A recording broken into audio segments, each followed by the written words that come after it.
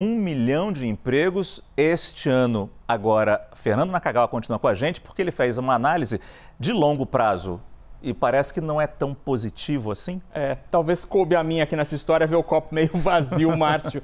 De fato, se a gente olhar para uma perspectiva mais longa, os números mostram, ainda estão no azul, portanto é uma notícia positiva, mas há uma perda de força, né? Se você observar, dezembro normalmente é negativo, mas há uma perda de força porque em março, comparativamente aos meses de janeiro e fevereiro, houve fechamento do comércio de muitas cidades e isso acabou afetando, reduzindo o número de empregos. Para abril, mês agora que a gente está vivendo, o governo espera um número negativo, inclusive, de fechamento de empregos. Por isso, o governo anunciou ontem aquele programa para manutenção do emprego e da renda. Veio atrasado, segundo os empresários, mas vai ser importante para essa retomada a partir dos meses seguintes. E tomar que a gente consiga terminar o ano com criação de empregos, que é isso que a gente precisa num momento como esse da economia. Né? Você acha que o Pronamp, bem, essa, esses projetos do governo para auxiliar as empresas nesse momento tão difícil, se eles tivessem chegado antes, de alguma forma a gente conseguiria modificar essa, esse panorama? Certamente esta queda seria menos intensa uhum. e abril, por exemplo, poderia ter números positivos.